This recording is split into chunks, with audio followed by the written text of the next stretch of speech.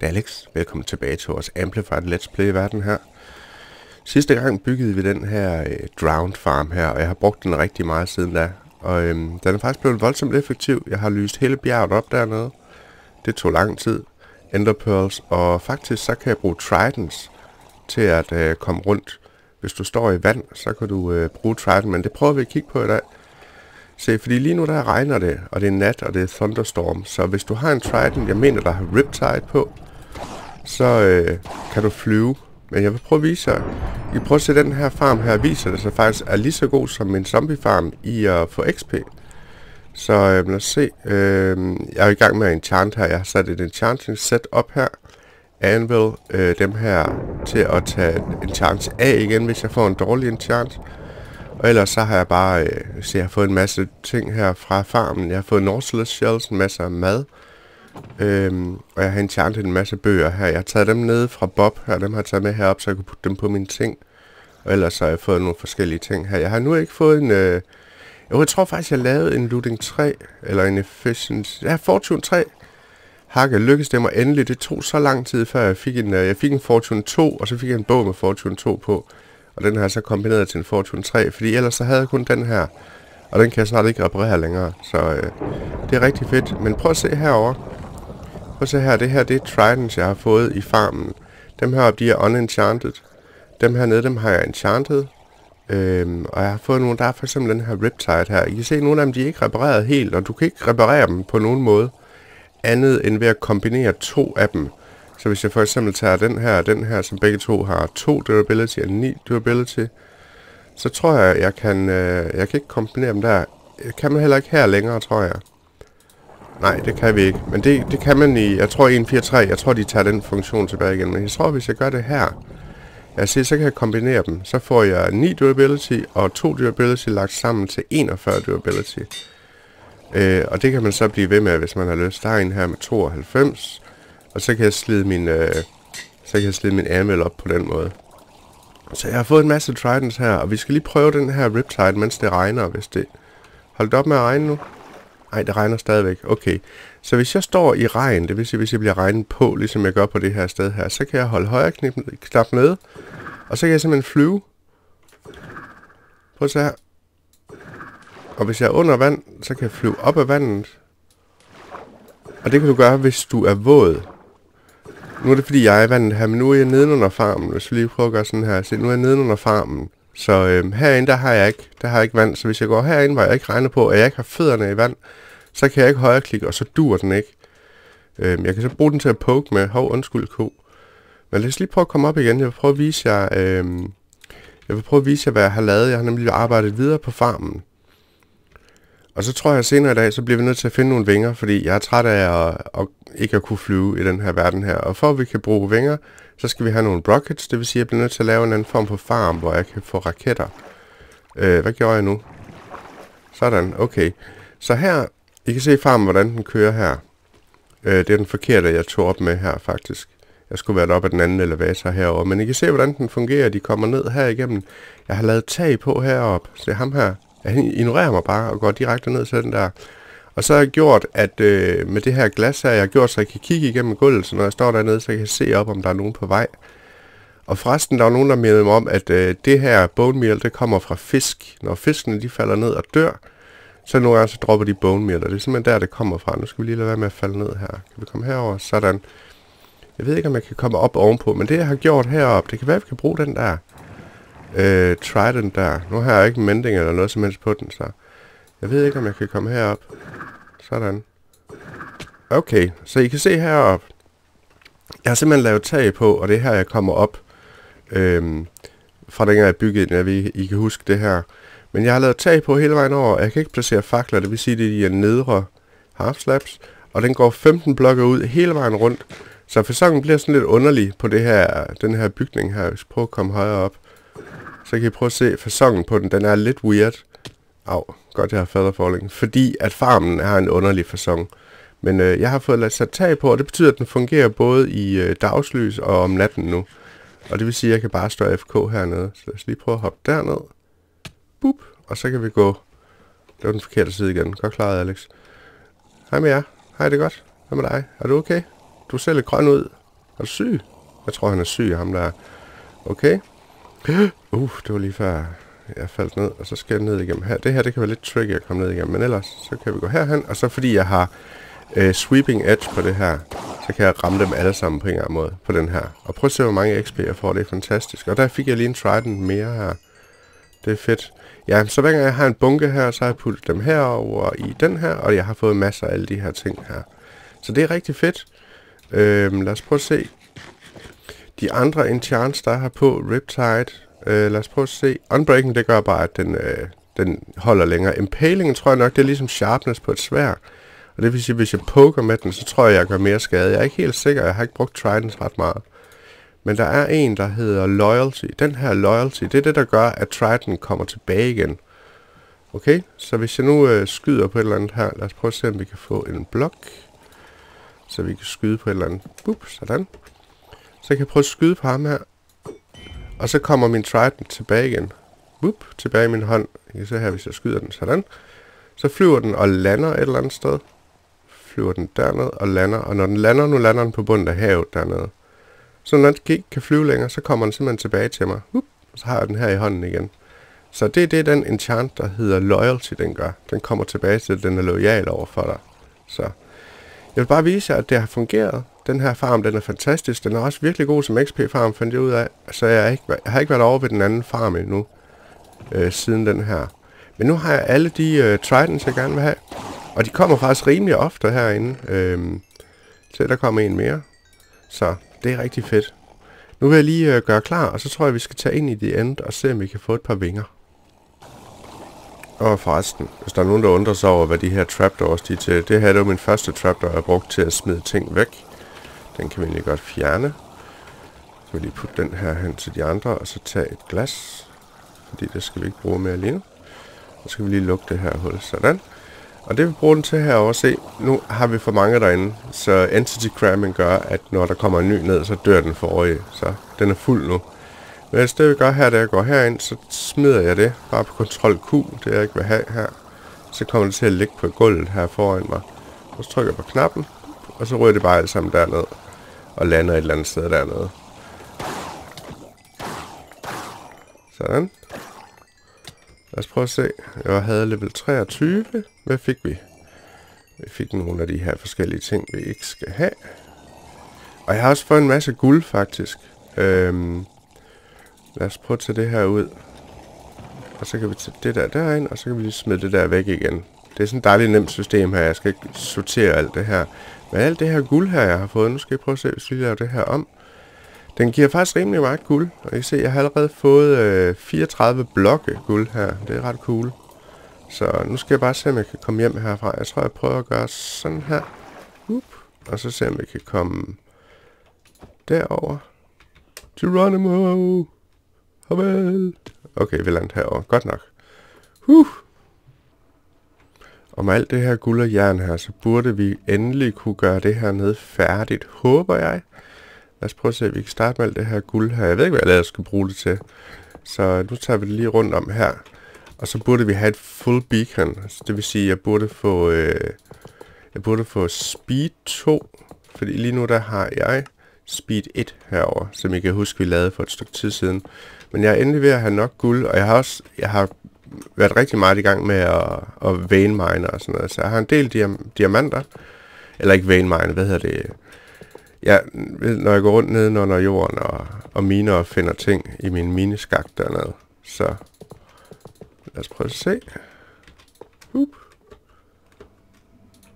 Ja, så, så har vi den her over eller den næste. Så kan vi tage en af dem der, og så kan vi bede om at få speed 2. Ja tak. Forward speed 2. Ja! Og det vil sige, at jeg burde kunne løbe meget hurtigere nu. Åh oh, ja. Net, net, net, net. Jeg har også fjernet alle træerne her, fordi jeg skulle bruge... Øh, jeg blev træt af at løbe ind i dem hele tiden. Hvordan går det herinde? Det går også stille og roligt. Jeg ser, vi får masser af uld. Jeg har ikke rigtig haft brug for det nu. Jeg bruger de her carpets her til, men det er sådan set også det. Det er en weird farm, den der, men den er faktisk ret fed. Og jeg er glad for, at jeg byggede den, selvom det var noget værre bøvl. Men den er virkelig, virkelig effektiv. Nu vil jeg gøre, have gjort mig klar til at tage i The End.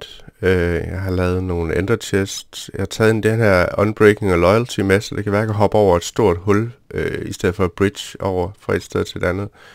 Men jeg vil også lige øh, se, jeg har samlet gunpowder, gunpowder, gunpowder. Jeg har ikke nogen gunpowder farm, så det skal jeg have lavet på et tidspunkt. Og så skal vi have papir, det har jeg noget ekstra her, og den måde du laver raketter på, det er bare gunpowder og papir. Og så får du tre stakker raketter her. Så det er fedt nok, vi smed lige to af dem derinde i. Og nu burde vi sådan set være klar. Jeg har mad, jeg har... Jeg tror, jeg er okay. Så håber jeg, at jeg ikke dør. Jeg skal også nogle blokke med. Så nu tager jeg nogle blokke. Hvad har vi her? Kan vi bruge... Øh, vi kan tage noget af det her. Øhm, og så vil jeg prøve at se, om jeg kan komme ind i The End, og se, om vi kan finde sådan et par vinger der. Så jeg løber lige over til The End, og så ses vi derovre. Okay, så er vi her. Jeg tror ikke, der er andet at gøre, end at bare hoppe ind. Og så tage ud til den der øhm, eksterne portal. Så jeg har faktisk gjort den klar herover. Du, du, du, du, du. Nej, I skal ikke lade være med at gå efter mig. Jeg har ikke gjort jer noget. Jeg ved ikke, hvor dragen er henne. Hun, øh, hun gik i nedtryk julestemning. Okay. hun var her sidst jeg var. Jeg ved ikke, hvor hun er henne, gutter. Men i det mindste, så generer hun ikke længere. Hun skubbede rundt med jer. Det kan være, hun var lidt bossy herinde, faktisk. Det ved jeg ikke. Men øh, hun er her ikke længere. Jeg beklager. Så når du slår dragen ihjel, så får du en af de her teleporter her, dem her. Og dem kan du som sagt få 20 af hele vejen rundt om øen. Så øh, skal du øh, lige smide en enderpearl igennem. Sådan. Boop. Og så kommer vi her på den anden side, og her har jeg også været og bare lige lavet en trappe, så vi kan komme tilbage igen. Lad mig lige se koordinaterne her. Så øh, 285, minus 921. Okay, bare sådan så, øh, hvis jeg ikke kan finde tilbage igen, så ved jeg, hvor den her den er henne. Og nu er det sådan set ikke andet at gøre, end at tage lige en af dem her. Det gør jeg ikke, når jeg spiller normalt, men når jeg spiller til YouTube, så synes jeg, at det er rart for jer, at I kan se noget bedre så bruger jeg de her Night Vision Potions. Det er derfor, jeg har dem altid. Det er fordi, jeg kan godt lide, at de kan se, når jeg spiller. Jeg kan sådan se lidt bedre end jer, fordi YouTube-kompression og alt det her, men nu tror jeg ikke, der er andet at gøre, end at bare, øh, hvilken vej løber vi her? Vi løber mod nord, okay? Se. Så tror jeg bare, vi skal, vi skal løbe og tjekke og se, om vi kan finde en af de her byer. Der ser ud som om, der er en by lige derovre. Okay, lad os se, hvordan vi kommer derover. Hmm. Jeg ved ikke, hvor stor byen er. Det ser ud som, om, der kun er et tårn, men det kan være, der er noget derovre. Og jeg tænker, vi kunne prøve den her. Er der et... Der er godt nok hul her. Hvis vi nu gør det her henover, så hvis det går galt, så falder vi ikke i vores død. Fordi jeg tænker nemlig, at vi kan gøre... Kan jeg gøre øh, sådan her? Og så stå i det her vand. Så skal jeg nok have den her frem. Men nu skal jeg gerne have vandet med mig, så det ved jeg ikke, om jeg kan nå. Det kunne jeg ikke. Ups. Oh oh. Kom den tilbage? Åh, oh, den kom tilbage igen. Oh, okay. Problemet det er, at når du kaster din Trident, så bliver den til en entity. Det vil sige, at den bliver til en ting i verden. Og hvis du kaster den i Void, så forsvinder den ting. Det vil sige, at du mister den. Øh, så når du er i the end, så skal du passe lidt på med, øh, med at bruge din Trident. Fordi det kan være, at hvis den ryger ud over kanten og ryger ned i Void, så er den væk for altid. Og så skal du til at grind efter en ny. Nu er det ikke så uheldigt for mig, fordi jeg har den der lækre farm nu, men hvis man nu har fået den ved et held, hvilket nogle af jer skrev, vi havde, det er simpelthen super heldigt, at I har fået det. Øh, lad os se, om vi kan komme derover. Øh, det var kun lige... Det ser ud som om, det kun er et lille tårn her. Men det kan være, at vi kan få nogle shulker, shulker øh, hvad hedder de, kasser herinde. Okay, lad os komme herover. Åh, oh, det var langt ned. Det var ikke, øh, det var ikke det, jeg ville. Kan vi lige komme derop? Sådan. Bup, Tak skal du have. Og så F3 og B, fordi de der boss, eller de der shotgun-gutter der, der er rundt om øh, de her, de kan godt være lidt svære at se, fordi de er stort set identiske med de er stort set identiske med de blokke her. Og så tager vi den her på, fordi øh, den, kan, den kan blokere de der skud, der kommer flyvende. Hvordan kommer vi ind her? Det er herovre. Underligt sted at lave indgangen. Fordi jeg kan blokere de der. Der er nogen, der spurgte, hvorfor jeg ikke har mad i min offhand. Jeg kan simpelthen ikke lide at have noget offhand for det mindste. For det meste. Jeg synes, det, det er generende. Det er, jeg synes, det er et problem for mig at bruge, hvis jeg har noget offhand, hvad enten det er fakler eller hvad det er. Og nu fik han mig alligevel. Undskyld.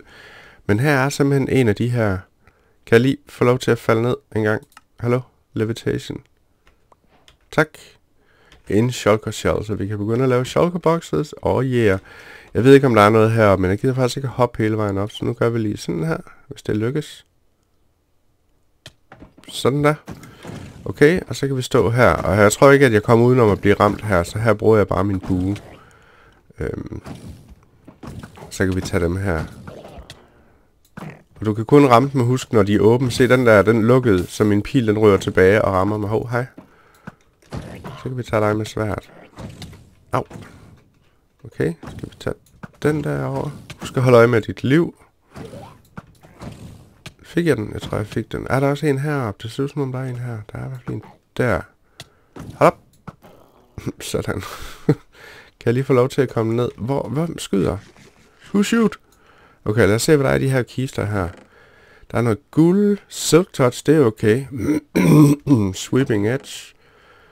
Og øh, lidt andre ting her. Ja, det var ikke så slemt, den er. Nu vil jeg stille den her. Boop. Og så vil jeg putte de ting over i den, som, øh, jeg, oh, som jeg gerne vil have med. Jeg skal kun bruge en. Jeg lavede bare en ekstra for en sikkerheds skyld. Og så tager vi de her, tror jeg bare, jeg tager den her. Sådan. Og så vil jeg pakke sammen, og så vil jeg se, om jeg kan finde den næste by. Det kan være, at vi kan finde sådan nogle vinger sammen. Det vil være dejligt. Og lige en hurtig reminder, hvis I vil have noget af det her chorus fruit her, så husk, at I skal have de her bær her. I kan se, at de er klar og færdige udvokset.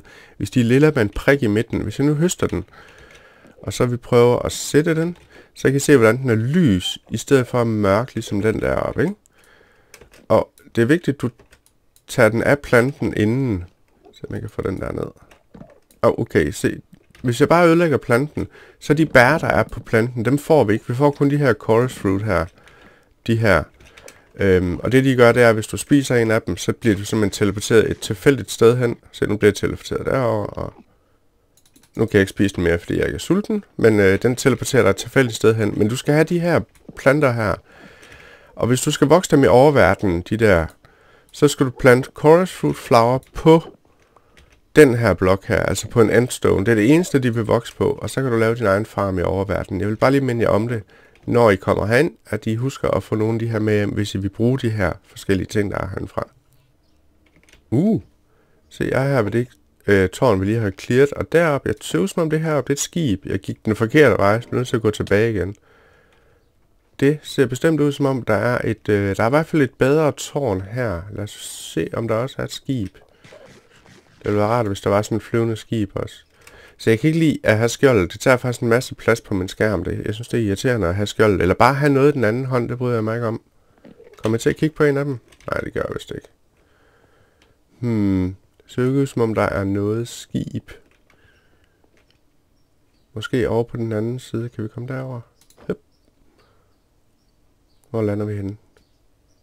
Op på en plante. Okay, fair nok. Jeg kan ikke se noget skib, men jeg tror stadigvæk, jeg vil prøve at se, om jeg kan clear det. Der er ingen grund til, at I sidder og kigger på. Men øh, jeg vil lige gå op igennem det og nakke alle de her, slå dem der til. Åh, oh, jeg kom til at, jeg kom til at ændre pearl ind i den. Okay, så jeg vil bare øh, se, om jeg kan tømme det her tårn her. Og så husker jeg også at tage de her, øh, hvad hedder de, de der androids, dem her med hjem. Boop, jeg kan lave dem selv, men øh, nu er jeg her, så jeg kan lige så godt bare tage dem med. Dem jeg ser i hvert fald. Og det samme, når jeg går forbi en af de her planter, hvis jeg ser en af dem der, så tager jeg den bare lige på den her måde. Så øh, lad os se, om vi kan komme ind. Er det, hvor er det henne? De, øh, de bliver ikke genereret så godt her. Okay. Ja, jeg går bare op igennem, og så skal jeg nok vise jer, hvis jeg finder noget godt i kisten oppe i toppen. Jeg løber rundt og leder efter den næste by her, så vil jeg lige vise jer, at rundt omkring i verden, der findes faktisk de her. Øhm, så hvis du virkelig er løbet tør og faret vild, så kan du øh, finde en af dem her, den teleporterer der tilbage til hovedøen, og så kan du komme hjem på den måde. Hvis, øh, hvis ikke du kan finde en ø, eller du bare er ved at løbe tør for ressourcer, og du gerne vil hjem, så, øh, så kan du gøre det. Men øh, jeg leder bare videre. Jeg har været i gang et stykke tid allerede, og jeg har fået brugt nogle, øh, fået brugt nogle blokke. Jeg har også fået slidt mine arme rimelig godt. Men jeg finder nogle, jeg finder nogle øh, shells, og jeg har lavet en, øh, jeg lavede en af de her, bare med de kister, jeg har fundet, og så putter jeg tingene herinde i efterhånden, som jeg finder dem. Sådan. Men øh, jeg fortsætter bare. Jeg skal lige huske at have det der med. Joink. Et par ting her, jeg lige vil nævne, nu vi er i the end. Øh, et trick, jeg bruger, det er at sætte min, øh, min render distance her. Sæt den helt op på 32 chunks, fordi andet er ikke så svært for computeren at håndtere, så du kan have en længere render distance her, end det her, det dur selvfølgelig kun i single player. Multiplayer, der er det serveren, der bestemmer din render distance, men på single player kan du selv styre det. Og en anden ting, det er, at det er nemt at undervurdere afstanden herinde, fordi det hele det ser ens ud. Det ser ud som om, jeg kan kaste en enderpearl lige derover lande, eller lige derover lande. Men når vi rent faktisk går hen til kanten og kigger ned, så kan vi se, at der er måske 30, 40, 50 blokke derover. Og herover, jeg se, prøv at se, hvor stort afstanden er. Når du kommer herhen, så kan du pludselig se, hvor langt der er. Men når du kommer herop, for eksempel, så er det nemt at sige, jeg skal bare lige derover og kaste en enderpearl. Den vil ryge derned. Ikke at det gør noget, du kan sagtens kaste en enderpearl i void, der sker der ikke noget ved. Men hvis du rammer siden af en, en blok, og så falder ned, så er det, det går galt. Så jeg vil bare lige, øh, det er bare sådan nogle små hints og tips til, hvordan du måske overlever øh, the end, fordi det kan godt være lidt træls at være herinde, indtil du finder din første sæt vinger. Og alt det her, det gør jeg også kun indtil jeg har fundet det første sæt vinger. Så sætter jeg render distance ned til 16 igen, og så flyver jeg rundt. Fordi render distance med 32 og vinger, det kan godt give noget weird lag, og så kan du ikke altid se, hvorhen du er. Øhm, så hold da op, nu kommer himlen ned her, det regner helt vildt. Lad os se, om vi kan komme derover nu. Lad os prøve at se, hvor langt ind jeg kommer. Så jeg kunne komme lige 20 blokke ind, og jeg er i hvert fald er 30 blokke ud, ja. Så øh, I skal passe lidt på med afstandsbedømmelsen herhen. Det kan være lidt svært at se noget. Og jeg kan stadigvæk ikke finde en anden city. Jeg har godt nok lidt længe. Hvor er I henne? Jeg er også ved at lave tør for cobblestone. Så skal jeg tage mine blokke for at kunne øh, komme fra en plade til en anden. Oh, oh. Nå, jeg leder videre. Så nu kommer torden også. Oh. Er det... Oh, endelig!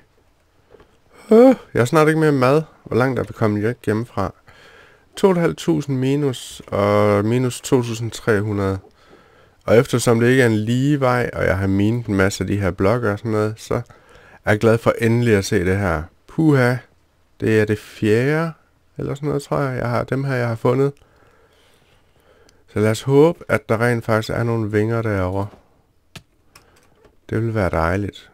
21. Jeg tror ikke, jeg har nok blokke til at komme op til skibet. Lad os prøve at se, om vi overhovedet kan komme derover. Jeg prøver at se, det ser ud som om det var tæt på, ikke? Men øh, vi er ikke engang på den samme ø, vi er på. Okay, så vi skal derover på en eller anden måde. Der kan jeg ikke ændre pøl over. Kan jeg komme op på den der? Jeg tror, jeg bliver nødt til at lave en... Øh, jeg tror, jeg bliver nødt til at lave sådan en, en ting over igen. Okay. Here we go again. Okay. Jeg tror, vi vil være her nu. Har vi nok? Ja, det har vi. Så kan vi ændre på herfra. Så er det lige en af dem her, så jeg kan se den igen. Lad os prøve at se, om vi kan komme op til det skib der. Hallo? Jeg ved, what the? jeg ved ikke, hvad der skete der. Okay, nu vil vi godt tage det her på. Jeg kan ikke lide at, at blokere over på den her måde, hvis jeg har et shield i hånden, fordi så nogle gange så kan det være uheldigt, at den... den øh... Au. Oh. Jeg ved ikke hvorfor jeg tager skjold, men jeg bliver altid ramt af de her levitation her. Jeg er så dårlig til at undgå dem, men øh, jeg er heller ikke så meget herinde. Shocker Shells 9, okay. Lad os se, om vi kan komme op til den her. Hvor var den var henne?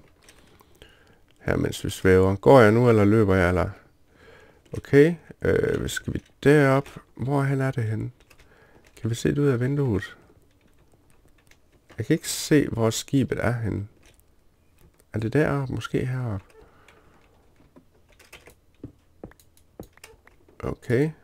Er det her taget? Ja, hvorhen er skibet? Skibet der deroppe. Okay. Lad os komme herop. Jeg skal bare lige indenfor, inden jeg bliver ramt, så jeg ikke svæver væk. Og se, så teleporterer de. De er nogle rigtige bastards. Hold. Op. Ja. De trælser bare. Uh. Okay, ind. Ah, sådan. Godt. Spis en mad. Uh. Øh, hvad har vi? Vi har ikke rigtig nogen blokke her. De her blokke her, de gule her, de er heldigvis hurtigere mine. Dem kan du instant mine, så hvis du mangler nogle blokke, og du er oppe i de her tårne her, så kan du bare lige tage nogle af de her Og så kan du skal ikke ødelægge det fine bygning, men helt ærligt, der er så mange af dem, og jeg tror aldrig, jeg kommer i den her del af End igen nogensinde. Så hvis jeg skal bruge nogle blokke, så tager jeg dem her. Okay. Og hvor var skibet henne? Øhm, der. Hvor er du henne? Jeg kan høre dig. Nå, den er oppe på skibet, det er rigtigt. Okay, nu kan vi svæve. Det er måske meget godt. Så kan vi komme op til ham her. Hold op. Åh, oh, det er min skovl.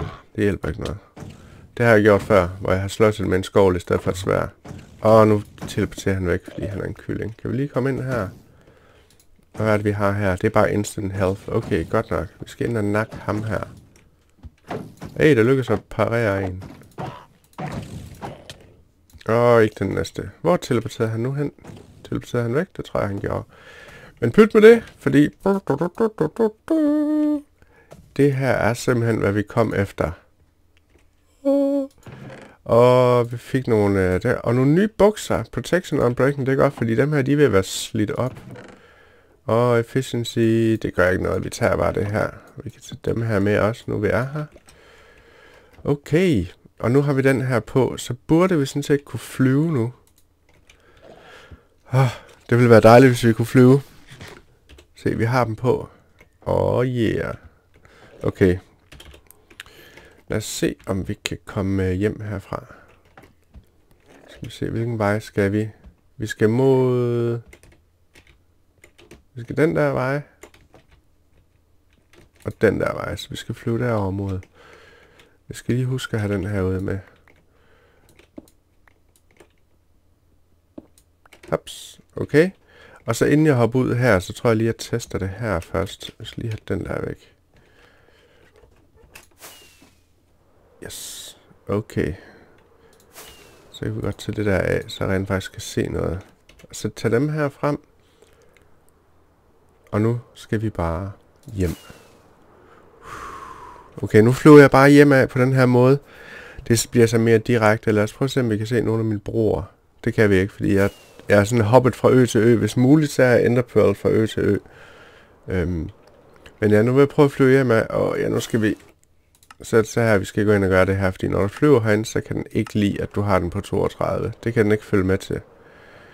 Så øh, nu vil jeg flyve hjem, og hvis jeg møder nogle af de her bygninger undervejs med et skib, så vil jeg tage et par ekstra vinger med. Men øh, ellers så er det bare hjem, og så kan jeg komme herind igen på et andet tidspunkt. De her, de har, de bruger selvfølgelig, hvad stod der der, 300, prøv at se, hvordan de tæller ned, når du flyver med dem. Det er ikke så godt. Jeg skal have mending, og jeg skal have unbreaking på dem, men det kan jeg ikke gøre, før jeg kommer hjem. Men for nu skal vi bare hjem. Kommer der noget undervejs her? Og jeg kan godt lide at have F3-menuen øh, frem, for det hvis jeg er på en Macintosh, så skal I trykke på, øh, hvad er det, FN plus F3, eller Ctrl plus FN plus F3, eller jeg kan ikke lige huske det. Det må I prøve at slå op, men det er i hvert fald anderledes på en Mac. Lad os, øh, lad os lige lande her. Eller, jo okay, godt, det lykkes. Sådan, så den der er væk. Så vi kan få fat i ham her. 1, 2, ja, 3, 4. Godt. Et ekstra elytra er altid nice. Mere guld. Ikke særlig godt. Flere diamanter og jern. Okay. Vi tager bare dem her nu, vi er her. Øhm, hvad skal vi smide? Vi kan smide den der, den der, den der. Var det noget, vi ikke fik? Ekstra sætte af lysre. Fantastisk. Okay. Og hvilken vej var det, vi skulle? Den her vej. Øh. Sådan. Nu glemte jeg at markere, at jeg har været på den der. Det er der ikke lige noget at gøre ved. Og herover vi kan også se, om vi får øje på de der teleporter, der teleporterer hjem. Dem kan du også spotte lidt på afstand. Der er en her for eksempel. I kan se den der lille stråle. Nice. Så kan vi... Up, så kan vi lande her. Det er godt at få testet nogle af de forskellige ting. Vi kan bare bruge dem her. Fordi de der blokke, dem kan jeg egentlig godt lide, de der endstone ting. Lad os se, om vi kan komme herop. Kom nu. Spil Minecraft, du ved, hvordan man gør. Og så skal vi have en enderpearl. Ja, og så er vi herhjemme. Og nu har vi simpelthen en elytra. Faktisk to af dem. Og så skal vi putte unbreaking på. Det mener jeg, jeg har derhjemme. Jeg har mine her igennem. Fordi jeg skulle bruge noget obsidian, og så fordi jeg tænker, du kan lige så godt bare tage den der igennem. Lige igennem. Ligesom de der store træer, hvor man kører biler igennem dem. Så er vi hjemme med alle vores goodies. Fantastisk. Så kan vi godt slå det der fra. Og så vil jeg nemlig se, om jeg kan... Uh.